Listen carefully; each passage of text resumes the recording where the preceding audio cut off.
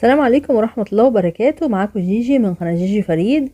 النهاردة إن شاء الله هكلمكم عن مسكرة Might Cinema العنكبوتية آه، Volume Express. المسكرة دي ده شكل العبوة وهي من جوه عاملة كده. بصوا العبوة شكلها شيك جدا. أنا طبعا سايباها في العلبة عشان أوريكم شكل العلبة عامل إزاي لكن أنا في العادي آه، بخلعها لأن بصوا هي صعبة إن أنا أركبها وأخلعها كل شوية. فطبعا أنا بخلعها من العلبة بحطها كده في درج المكياج وخلاص.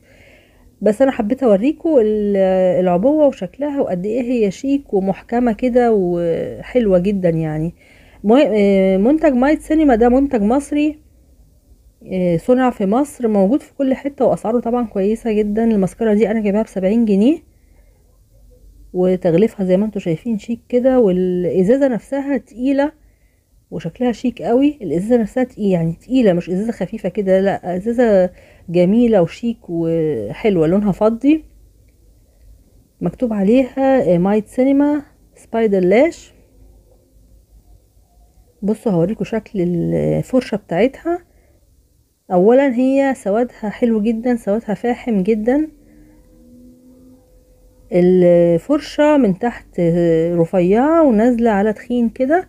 فطبعا الفرشة دي بتخليكي تعرفي تجيبي أقل شعراية أقل طول شعراية موجود في رموشك فبتكثف وبتطول الرموش. بتطول الرموش وبالذات الرموش اللي تحت يعني الرموش اللي تحت فعلا بتطول جدا لدرجة إن هي بتلامس خدك. يعني بتلامس أول كده الخد فممكن وده عيب بقى من عيوب المسكرة دي إن هي آه، بتطبع شوية أو مش بتطبع. يعني تلاقي نقطة كريم بسيطة هي كريمية جدا المسكرة ما فيهاش عيوب خالص تقريبا غير إن هي عيبها الوحيد إن هي آه، بتعمل زي كريم كده صغير. نقطة كريم تنزل على وشك وانتي بتحطي المسكرة أو تطلع آه، وانتي بتحطي المسكرة اللي فوق تطلع على جفونك من فوق. ولو بتعملي رموشك اللي تحت تلاقي نقطة جت على خدك. دي مشكلة المسكرة دي لازم تخلي بالك قوي وانتي بتستخدميها لأن هي كريمية جدا وفي نفس الوقت زي ما قلتلك النقطة دي اللي بتيجي على خدك وانتي بتعملي الرموش اللي تحت بالذات لأن هي بتطول الرموش قوي بتاعت الرموش اللي تحت بالذات بتطولها قوي بشكل ملحوظ. فممكن تلامس آه، نقطة كده الخد لأن هي زي ما قلت لكم بتطول الرموش قوي بالذات اللي تحت. طيب لو جت نقطة من المسكرة دي على خدك أو على جفنك اللي فوق وانت بتحطي المسكرة في الجفن اللي فوق ما تجيش ناحيتها خالص سيبيها خالص لغاية ما تنشف تماما. وبعد كده آه، امسحيها بطرف إيدك كده أو كحتيها كده بضفرك بالر- بالراحة خالص. لكن لو جيتي ناحيتها وهي لسه كريمية كده هتهببلك بقى وهتفرش كده مكانها وهتبهدل الدنيا. خصوصا لو انت حاطة foundation وحاطة مكياجك كامل مثلا عاملة full makeup هتبهدلك الدنيا. لو مش حاطة مكياج خلاص بمنديل وامسحيها ومفيش مشكلة.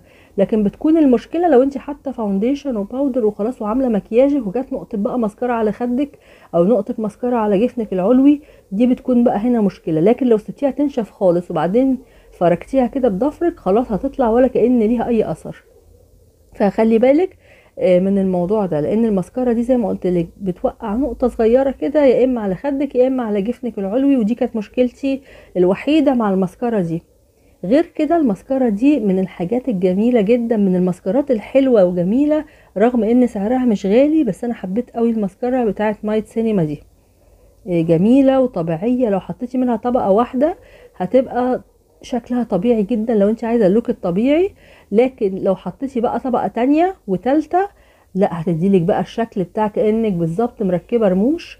وممكن تحطي كمان أربع طبقات بس ساعتها هتكوني عايزة بقى خروجة يعني سهرة مش هتناسب الصبح طبعا لأن هي آه، زي ما قلتلك هتكثف قوي بزيادة. بصوا أنا عايزة أوريكم بس السواد بتاعها. سوادها حلو جدا جدا. تخيلي بقى السواد ده مع طبقتين تلاتة بتحطيهم على رموشك بتديلك شكل حلو قوي لرموشك وسواد فاحم للرموش وطول وكثافة. فدي من المسكرات اللي أنا حبيتها فعلا إيه وسعرها حلو زي ما قلت لكم بسبعين جنيه متوفرة في كل حتة ومفيش منها copy ما عملوش منها copy يعني ما شفتوش. هو ده Might Cinema ما شفتش منهم copy لأن هو سعرها لسه ما غليتش قوي يعني فكويسة يعني الحمد لله. ويا رب ما تغلاش قوي المنتجات بتاعت Might Cinema دي لأن هي سعرها كده مناسب بالذات لبنات الجامعة. لو عايزة تستخدمي حاجة زي كده حطي طبقة واحدة وانتي خارجة بيكون شكلها طبيعي.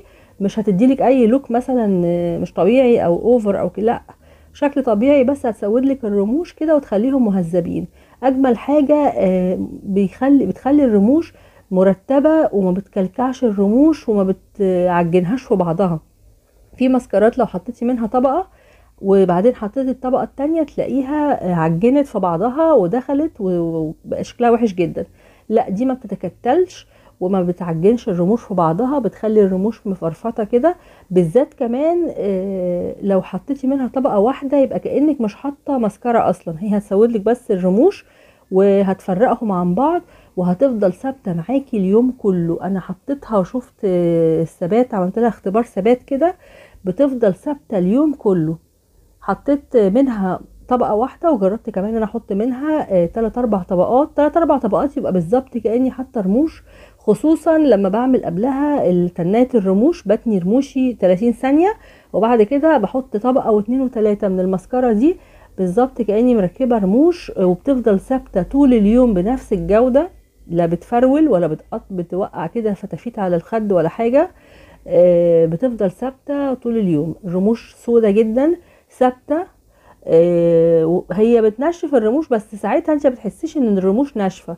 انت بتحسي ان الرموش ناشفة وان هي نشفت الرمش فعلا جدا وانت جاية تمسحيها.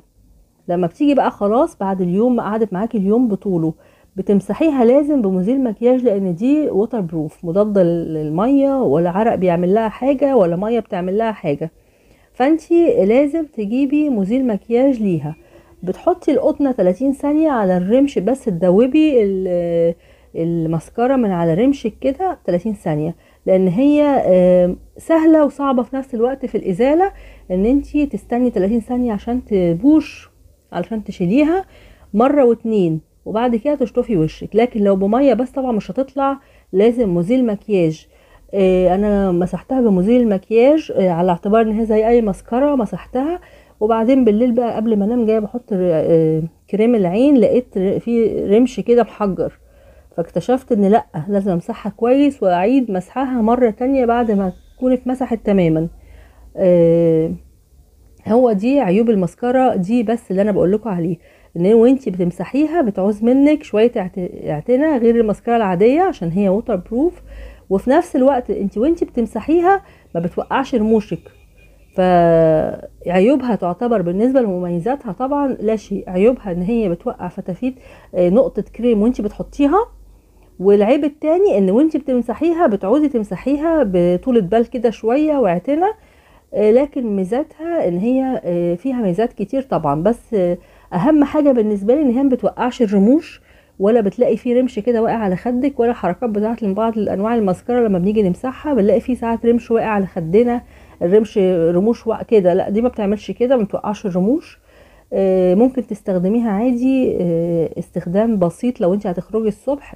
مسحة بسيطة كده على رموشك بيبقى شكلها طبيعي. يعني انت بتقدري تتحكمي فيها إذا كان عايزة شكلها طبيعي أو شكلها كأنك مركبة رموش من خلال كام طبقة انت هتحطيها. آه، فالمسكرة دي جميلة جدا بتاعت مايت سينما العنكبوتية دي فعلا بتطول وبتكثف وما بتكلكعش الرموش ولا بتوقعها. بس أهم حاجة اهتمي وانتي بتمسحي رموشك امسحيها مرة واتنين بمزيل مكياج عشان تتمسح كويس جدا لأن هي زي ما قلت لكم عيبها إن هي بتحجر لما تيجي تمسحيها وتمسحيهاش كويس. أهم حاجة ما تنسيش كل يوم بالليل قبل ما تنامي تمسحي على رموشك مسحة زيت لوز حلو أو زيت خروع عشان تفضلي على طول رموشك حلوة وكثيفة وطويلة وتهتمي بيها. بس كده إن شاء الله يكون ده الفيديو بتاعي عجبكم. إيه لو الفيديو عجبك ما تنسيش تشتركي في القناة وتفعلي الجرس عشان يوصلك كل جديد. وما تنسوش ال like وال follow على الانستجرام. وميرسي ليكوا bye bye.